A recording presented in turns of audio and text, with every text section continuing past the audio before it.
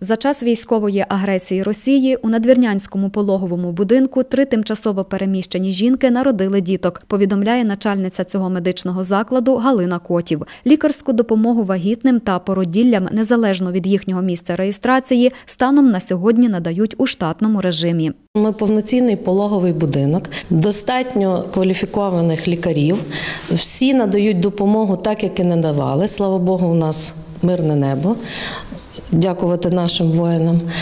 Е, Переселені люди, які сюди приїхали, у нас є багато вагітних жінок в різних термінах вагітності. Вони стають на облік жіночу консультацію.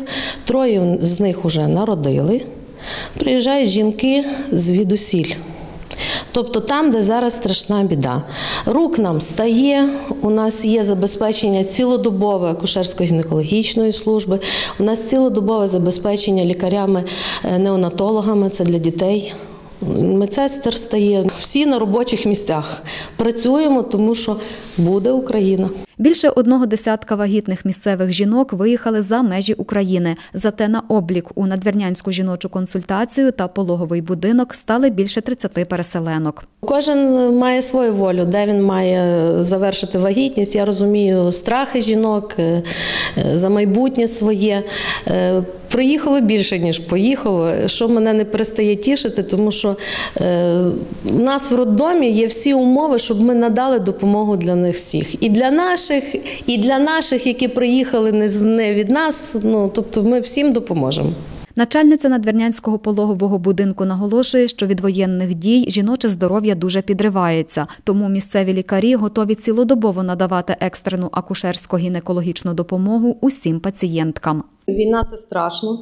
Ну, Таке страшно, реально страшно. Бо то, що вони розказують, це просто жахіття. Розумієте, я сама плачу з ними. Хочу звернутися до жінок, які не знають, що робити, і думають, що не, потрібно ні до кого звертатися. Звертатися потрібно. Жіноча консультація працює. Якщо нема чи вечірній час працюють у пологому будинку лікарі чергові. Тобто ми всіх чекаємо. І гінекологічна група, бо зараз дуже багато розладів менструацій, е, кровотеч. Ну, тобто жінки в стресі, і це треба розуміти. Значить, вони звертаються до нас у пологовий будинок. Ми всім допоможемо.